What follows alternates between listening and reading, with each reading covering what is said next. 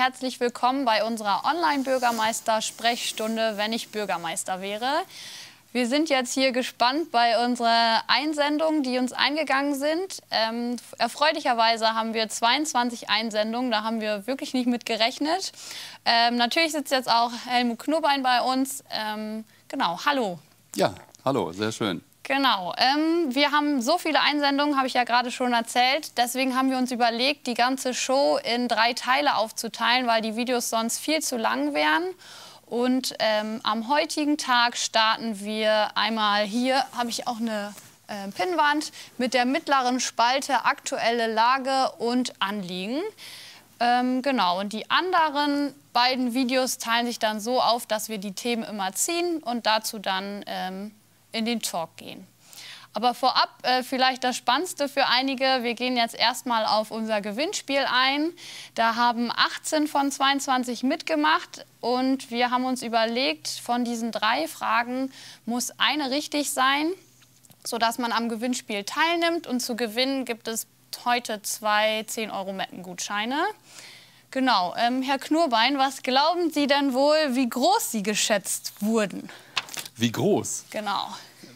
Also das ist sicherlich gar nicht so einfach, aber ich vermute mal so um die 1,80 herum bin ich wahrscheinlich geschätzt worden. Äh, ja. Vermute ich. Der Durchschnittswert war sehr spannend. Sie sind ja 1,84. Der Durchschnittswert war 1,84,2, also sehr nah dran. Sehr nah dran, das stimmt. Ähm, genau, der größte Wert war 1,90 und der kleinste war 1,75. Also aber im okay. Durchschnitt waren sie sehr gut dabei. Sehr da gut. haben wir auch noch mal die ganzen Zahlen eingeblendet. Oh ja. Genau, von äh, den 18 haben auch zweimal ihre Größe richtig beantwortet. genau, jetzt kommt es zum noch spannenderen. Ja. Was glauben Sie denn, wie alt wurden Sie geschätzt? Ja, das ist sicherlich spannend. Also ich glaube, einen Mann darf man schätzen, aber den Frauen ist es ja immer so eine Sache. Aber ja, äh, ich hoffe, dass ich nicht zu alt geschätzt wurde. Äh, ich gehe aber trotzdem davon aus, dass ich wahrscheinlich auch hier so um die 50 wahrscheinlich geschätzt wurde. Genau, das ist richtig. Der Durchschnittswert ist 53. Naja. Äh, ihr Alter, um es mal aufzulösen, ist ja 56. Dabei sieht man dann hier auch, das älteste war einmal 57, also grundsätzlich haben sie sich oh. eigentlich jünger geschätzt. Ja, genau, genau. Und sehr erfreulich einmal die 41. Ja, oh, genau. sehr schön, ja, genau. Und da hatten wir sechs richtige und das ähm, Bedeutet, weil den Lieblingsort hatten wir leider nicht ähm, einmal richtig von Ihnen, den lösen wir aber auch gleich auf. Aber dadurch haben wir acht Teilnehmer, die was gewinnen können. Das ziehen wir jetzt gleich auch. Ähm, genau, und Ihr Lieblingsort, was glauben Sie denn da? Was wird da genannt? Jetzt habe ich schon verraten, dass Ihr Lieblingsort nicht stimmt. Ja, genau. Ähm, ich glaube, das ist auch gar nicht so einfach. Ich, ich könnte mir vorstellen, dass oft auch so ge geschaut wird, was macht er vielleicht, wo ist er sehr oft, dass vielleicht da die Tendenz hin war. Äh, ich habe mir natürlich meinen Lieblingsort so in Meppen ausgesucht, also mhm. außerhalb von Familie, von Büro, von äh, meinen Tätigkeiten, wo ich bin. Also insofern ist es auch für mich jetzt schwer zu überlegen, was wurde geschätzt. Aber ähm, ich bin natürlich, und das könnte ich mir vorstellen, dass vielleicht auch der eine oder andere gedacht hat, er ist gerne zu Hause könnte ich mir vorstellen. Äh, aber wo ich natürlich auch super gerne bin, aber mein Gedanke war dann eben doch, äh, wo ist der schönste oder der, der tollste Ort, wo ich mich mal gerne aufhalte. Und da habe ich mal für mich so, wo Hase und Ems zusammenfließen, das war so für mich ein ganz schöner Ort im Meppen. Das wäre er gewesen, aber genau. ich bin mal gespannt, was da so gesagt wurde. Genau, da haben wir auch hier eine kleine Zusammenfassung, weil das jetzt gleich eingeblendet wird. Genau, Sie hatten uns ja gesagt, dass an der Holtingmühle, wo Ems und Hase zusammenfließen, Ihr Lieblingsplatz ist. Aber Ihre Vermutung ist schon richtig. Zu Hause und bei der Familie wurde insgesamt siebenmal genannt. Ah ja. Und ähm, das Rathaus ist äh, das zweithöchste genannte, also Ihr Arbeitsplatz. Wahrscheinlich, weil Sie sich da am meisten aufhalten. Ja, genau. Genau. Ähm, Aber das passt ja ganz gut zu dem, wie ich es eingeschätzt habe. Genau. Äh, ja, sehr schön. Ja, und ähm, sehr spannende Ideen, die dabei rumkamen und auch gar nicht so falsch geschätzt von den Jugendlichen, die mitgemacht haben. Schön. Und dann würde ich mal sagen, ähm, ich gebe ich Ihnen mal die Schale rüber. Ja. Und dann können Sie einmal zwei Zettel ziehen und das sind dann unsere Gewinner. Okay, ich nehme mal den ersten. Ich gucke auch nicht rein, obwohl ich es auch nicht sehen kann, aber jetzt habe ich mal zwei. Oh, ich glaube. Ah ja, ist doppelt, genau. Genau. Okay. Können Sie da einfach hinstellen, genau. Und wir lösen auf mit Trommelwirbel. Trommelwirbel. das ist äh, die Jule. Die Jule, okay. Genau. Und der zweite Name? Die Jana. Jana, okay. Jana und Jule, euch ähm, schreiben wir noch mal an, dass wir eure Adressen kriegen und dann bekommt ihr die Gutscheine von uns zugesendet. Ja, und dann würde ich sagen, starten wir auch mal gleich ins Eingemachte ja. zu den Einsendungen, ähm, zu unserer heutigen Runde. Ja, ähm, wie man hier auf der Tafel sehen kann, aktuelle Lage, haben wir jetzt vier Punkte, die wir heute abarbeiten. Und ich würde mal sagen, wir starten mit ähm, einer Einsendung mit dem Oberthema aktuelle Lage Corona. Da haben wir einen Jungen, der ist 13 und heißt Nils und hat uns auch äh, zwei sehr lange Texte geschrieben. Ja. Sie waren sehr emotionsgeladen und ich würde das gerne einfach mal eben zusammenfassen und dann können Sie da ja Ihre Antwort geben. Genau. Nils hat gesagt, wenn er Bürgermeister wäre, würde er selber erstmal nicht in Panik verfallen und versuchen, die Leute in Meppen äh, zur Ruhe zu bringen. Also ihnen Gewissheit zu geben, sie zu bestärken. Und er sieht das als äh, ganz wichtig an, dass auf allen möglichen ähm, Wegen die Leute informiert werden, weil er selber gerade merkt, irgendwie hat jeder andere Wahrheiten oder Kenntnisse und äh, gibt so Vorschläge wie, dass die Lehrer Bescheid wissen, dass sie die Infos an die Schüler weitergeben. Über WhatsApp-Gruppen, über E-Mails, im besten Fall sogar persönlich an der Tür klingeln und Bescheid sagen, sodass ähm, diese Ängste, die hier gerade herrschen, durch den Coronavirus genommen werden. Einerseits, dass man sich selber ansteckt, andererseits, dass die Angst genommen wird, dass man andere ansteckt. Und er bringt auch das Beispiel, dass er sich zum Beispiel mit jemandem verabreden wollte, eine Fahrradtour machen wollte, es aber nicht konnte, weil die Mutter von ihrem, seinem Freund gesagt hat, ich weiß gerade gar nicht, wie die aktuelle Lage ist, bleib mal lieber zu Hause. Und ja, so sind die Jugendlichen natürlich auch super eingeschränkt im Moment. Und er hofft sich einfach, dass es klare Infos gibt, Sie für Mappen klare Infos aussprechen und auch klare Anweisungen, wie man was machen soll und wie man handeln soll. Genau, das waren seine Punkte, sodass kein Chaos passiert. Und es ist ja jetzt mittlerweile schon die sechste Woche, die uns das betrifft. Genau. Und er bedankt sich auf jeden Fall schon mal im Voraus auf Ihre Antwort. Ja, das ist gut. Hoffentlich macht er das auch noch, wenn ich antworte. Aber ich finde es äh, total spannend. Wie alt war er? 13. 13. Genau. Also ich finde es total spannend, dass jemand sich so viel Gedanken äh, darum macht, wie gerade die Situation ist. Und ähm, das, was er beschreibt, ist im Grunde genommen auch das, was wir, so bin ich fest davon überzeugt, auch gerade leben, ja. so wie wir es machen. Äh, wir haben ganz, ganz viele Bereiche, wo wir die Menschen informieren. Und eine Sache zum Beispiel, äh, ich glaube, die ist auch einmalig, ist das, was wir hier gerade machen. Äh, nämlich äh, einen YouTube-Kanal Mappen Markt dich auf den Weg zu bringen, wo wir ganz umfangreich auf, vielen, auf diesem Kanal die Mappen äh, informieren. Äh, Sie können uns Beispiele senden, aber auch ich konnte informieren über Dinge, die gerade aktuell sind, was wir auch gemacht haben. Gleichzeitig, und das äh, finde ich auch spannend, dass er das angesprochen hat, wie informieren wir Schulen, äh, Kitas über die aktuellen Dinge? Weil natürlich ganz viel über die Medien kommt, zum Teil mit einem zeitlichen Verzug. Da haben wir einen Fachbereich, äh, der ganz intensiv mit den Schulen in Kontakt steht, mit den Kitas in Kontakt steht, mit den Trägern der Kindertagesstätten und äh, wo die Informationen, die wir als Stadt bekommen, und wir sind ja auch abhängig von Informationen Absolut. über den Landkreis Emsland, über das Land Niedersachsen bis hin zur Bundeskanzlerin, wenn sie jetzt wieder eine Konferenz führt, dass wir dann diese Informationen, die dann bei uns auch ankommen, ganz schnell wieder weitergeben. Das machen wir. Äh, das machen wir sehr transparent und auch mit Informationsblättern, dass wir also Themen, die geballt auf uns zukommen, sehr detailliert zusammenfassen und als Infoblatt an die entsprechenden Träger und Einrichtungen Schule geben. Jetzt zum Beispiel bei den Schulen äh, haben wir natürlich warten müssen auf den Hygieneplan des Landes Niedersachsen, mhm. damit wir das wiederum als Schulträger umsetzen konnten. Da haben wir aber auch schon im Vorfeld mit den Schulleitungen gesprochen, bevor das alles da war. Wir haben selbst schon einiges auf den Weg gebracht, damit wir möglichst schnell reagieren können. Und er beschreibt das, finde ich, ganz toll, nämlich kein Chaos entstehen zu lassen, weil Chaos ist nicht gut. Äh, in einer solchen Situation, in der wir stecken, brauchen wir nicht auch noch Chaos. Und wir haben an allen Ecken versucht, eben genau das nicht entstehen zu lassen, sondern viel zu informieren. Ich glaube auch, dass wir das ganz gut gemacht haben man kann immer im Nachhinein sagen, Mensch, da wäre noch mehr möglich gewesen.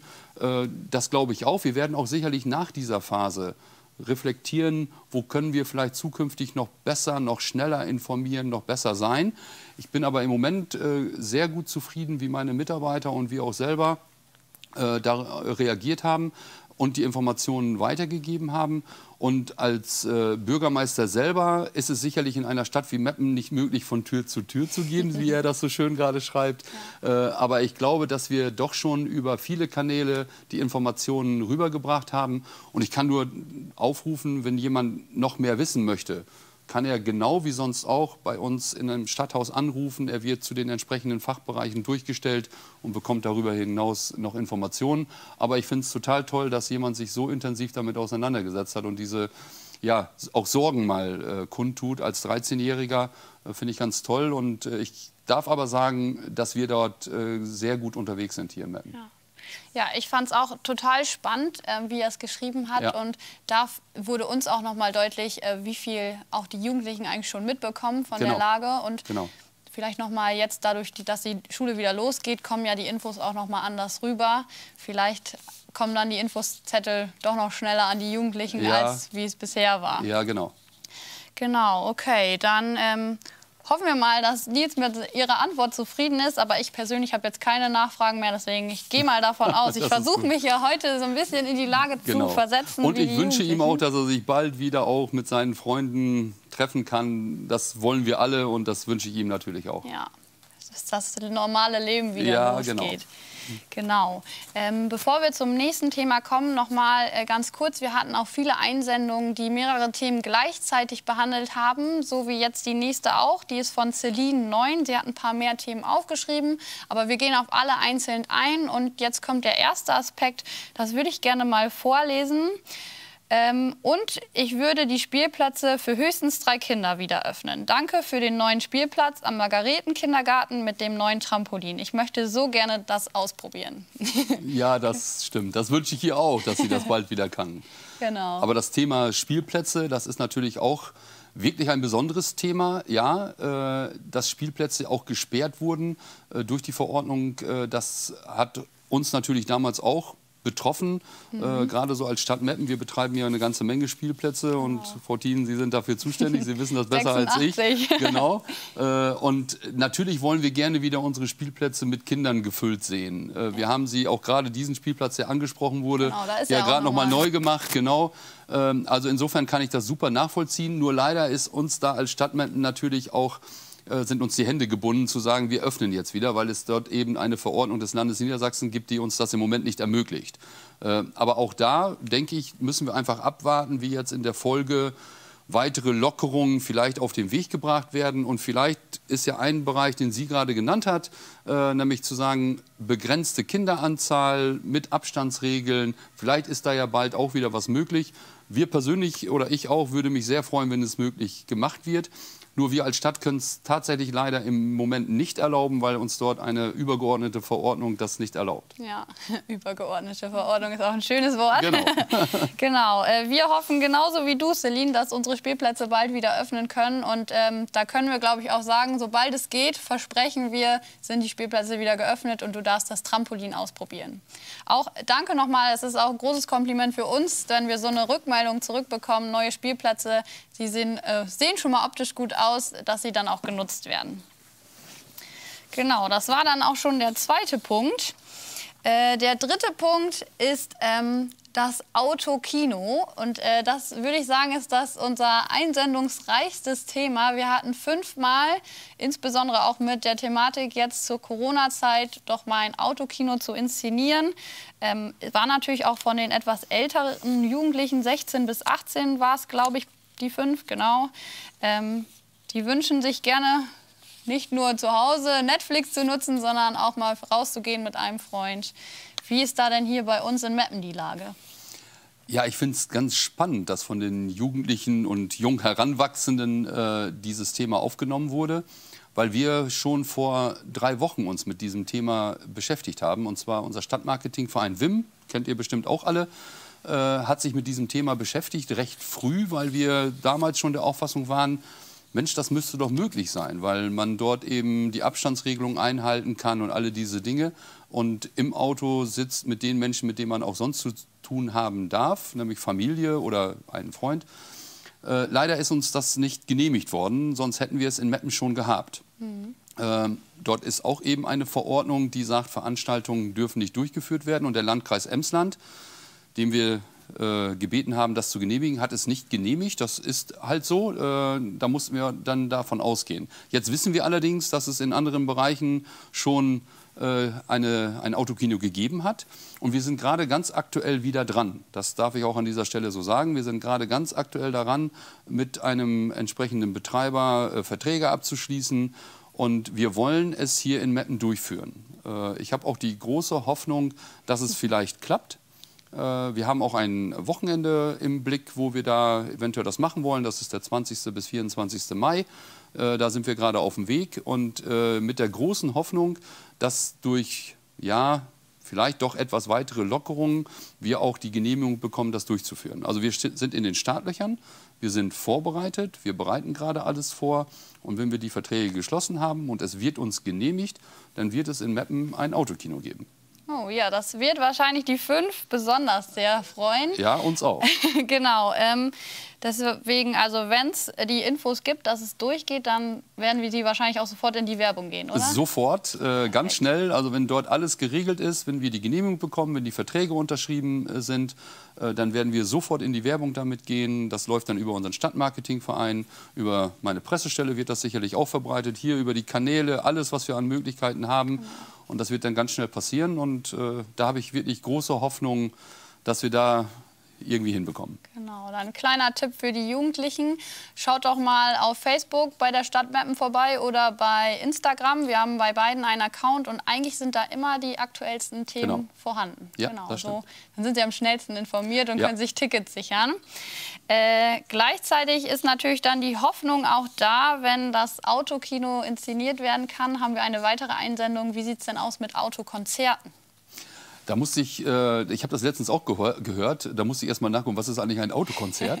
äh, also es ist kein Hubkonzert, nee, genau. äh, also es ist so ähnlich und es, auf der Bühne wird äh, Musik gemacht und die Menschen sitzen auch im Auto und hören sich das an. Ähm, ich denke, dass das eventuell eine Weiterführung sein könnte.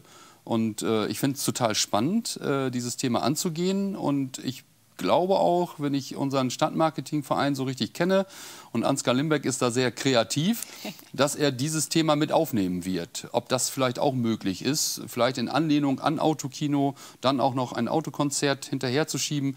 Aber da wäre ich im Moment, ich sage mal auch, ich bin immer eher ein bisschen vorsichtig, nicht zu viel verlangen, sondern ganz vernünftig an dieses Thema herangehen. Aber auch die Idee finde ich total klasse. Und wenn wir die Möglichkeit bekommen, es zu tun, mit allen Regeln, die wir einhalten müssen, dann fände ich das eine tolle Sache. Und äh, ich denke, da werden wir uns auch auf den Weg machen, vielleicht so etwas durchzuführen. Aber da kann ich im Moment natürlich nichts versprechen. Werde ich sowieso nicht, weil andere müssen es genehmigen. Genau. Aber dann ist schon mal die Hoffnung da, falls das Autokino kommen sollte, gibt es auch die Anregung zum Autokonzert. Genau. Dann könnten wir auch noch mal den Aufruf starten, in welche Richtung von Musik es vielleicht gehen sollte. Vielleicht ist Ansgar da ja auch bereit. Genau, äh, da ist ja sicherlich jemand, der dann der richtige Ansprechpartner wäre. Genau. Okay, perfekt. Ähm, ganz spannend fand ich, als ich das Thema gelesen habe, Autokonzert oder Autokino, wie kommt denn der Ton eigentlich rüber? Und ähm, wissen Sie das, wie das ja. läuft? Dann erzählen Sie das doch mal den Jugendlichen. ich habe das auch nachgefragt, weil ich das nämlich auch nicht wusste. Aber es ist tatsächlich so, dass heutzutage äh, jeder im Prinzip über sein Autoradio genau. eine Frequenz anwählt und tatsächlich beim Autokino über seine äh, Autoanlage, je nachdem, was für eine er hat, über das Autoradio den Ton bekommt. Ja. Und äh, das habe ich nämlich auch nicht gewusst. Ich habe das auch hinterfragt. Aber das ist tatsächlich so. Ich bekomme also vorher eine Frequenz, äh, die ich anwählen kann im Autoradio und dann habe ich es im Auto. Ja, also perfekt. fand ich auch also total spannend. nicht nur Fenster runter, sondern genau. der Ton kommt direkt rein. genau. Ja, perfekt. Dann ähm, haben wir da ja schon mal eine sehr gute Nachricht für die Jugendlichen. Autokino, Autokonzert könnte glücken. Ja. Wir warten mal ab. Genau, das müssen wir noch abwarten, aber genau. da sind wir in den Startlöchern. Und ähm, zum Schluss dieser Sendung haben wir noch eine ganz spannende äh, ja, Einsendung, sage ich mal. das ist ein Thema, was so Dörfer viel beschäftigt, aktuell natürlich auch. Schützenfest. Da hat ein äh, Junge geschrieben, er heißt Lukas und ist 18. Wenn er Bürgermeister wäre, würde er doch in den Schützenverein Vormeppen eintreten. Ja, und dann gebe ich den Ball mal direkt an Sie rüber. Würden Sie denn auch in diesen Verein eintreten? Sind Sie überhaupt in einem Verein? Und genau. Ja, das ist, äh, das ist echt eine interessante Frage. Oder eine Anregung ist es ja eigentlich genau. eher, äh, was ich machen sollte. Ja, ich bin im Schützenverein St. Hubertus, weil ich dort wohne. Das ist also mein Ortsteil, mein Schützenverein und dort bin ich eingetreten. Und äh, der Schützenverein Vormeppen ist im Prinzip aus dem Schützenverein Hubertus heraus entstanden als eine Kompanie. Und äh, ich habe tatsächlich schon das Anmeldeformular für den Schützenverein Vormeppen bei mir zu Hause. Da hat es einen Grund gegeben, weshalb ich den noch nicht unterschrieben habe. Äh, aber den habe ich tatsächlich zu Hause liegen. Und es wäre der weitere Verein, Schützenverein, äh, wo ich eintreten könnte und auch würde. Äh, das ist ja immer für einen Bürgermeister so eine Gratwanderung, äh, weil ich ja nicht in jeden Verein eintreten kann. Ja. Und äh, hier ist es wirklich auch äh, für mich dann aber eine deutliche Abgrenzung und auch Begründung zu sagen, nein, das sind meine beiden Vereine, nämlich dort, wo ich wohne in Meppen in der Neustadt, die im Prinzip zusammengehören. Und deswegen ist es so, dass ich tatsächlich das Ein Eintrittsformular schon zu Hause liegen habe. Also insofern äh, werde ich da sicherlich wieder darauf zurückkommen, wenn es dann soweit ist. Ah, vielleicht hatte Lukas sogar die Hintergrundinformation. Wer weiß. Das wissen wir auch nicht genau. so genau. Aber auch eine erfreuliche äh, Nachricht für Lukas. Der Bürgermeister wird auch in deinen Schützenverein eintreten. Genau, dann würde ich sagen, also für heute wären wir erstmal durch mit den Themen. Noch kurz zur Info für euch. Falls eure Themen heute noch nicht dabei waren, äh, seid nicht traurig. Sie werden auf jeden Fall morgen oder übermorgen auch noch eingesendet. Wir haben das Ganze in drei Sendungen aufgeteilt, damit die Videos nicht zu lang werden. Und schreiben auf jeden Fall auch in den Infotext immer, welche Themen wir äh, im jeweiligen Talk behandeln. Genau, und ähm, dann nochmal an die Gewinner. Seid nicht ungeduldig, wir schreiben euch auf jeden Fall an. Ihr bekommt die Gutscheine zugeschickt. Und dann würde ich sagen, sehen wir uns beim nächsten Mal. Vielen Dank, Herr Knubbein, dass Sie bereit sind, die ganzen Fragen zu beantworten. Genau, dann schaut wieder rein. Bis zum nächsten Mal.